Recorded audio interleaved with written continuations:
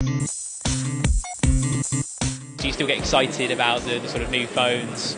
I do. I guess not as much as as uh, a couple of years ago. It's not exciting. Nobody cares about it. I mean, nobody. I don't care about the new thing that comes out. I think it's kind of plateaued recently because there's only so much so far you could get. I'm not that excited like I used to be like back I don't know back in 10 years ago when when they release when they have something to upgrade. Here at the world's largest mobile industry trade show, Mobile World Congress, you can't help but shake the feeling that the smartphone makers have run out of ideas. There are plenty new models with better cameras and faster processors and a lot of screens that fold in half.